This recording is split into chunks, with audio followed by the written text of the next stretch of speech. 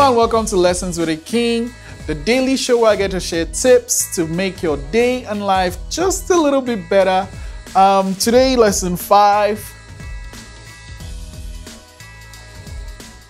learn from people that know more than you.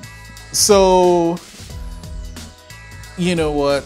In the last couple of years, I've been lucky to build a company, build friendships, build shows, build a network, etc. And you read about me in the paper and all that jazz, and you think, oh man, I am I'm not cool at all. I don't know a lot of stuff, uh, and that might be surprising for you to hear. But what I do is I surround myself with people that are great at everything they do. So, like, you know, I have someone that's just great at sound, lighting, all that stuff, and that's why I look the way I do, and that's why I get, you know, to be able to make all those um, shows and stuff that I do.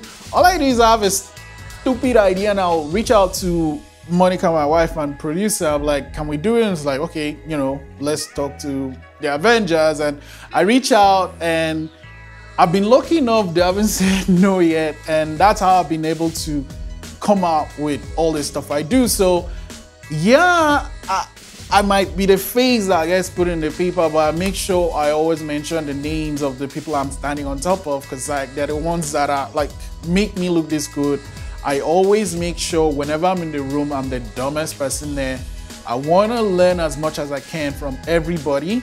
So when I learn something, I come here and share it with you. Lesson five, learn from people that know more than you. It will make your life a lot better. I'll see you tomorrow.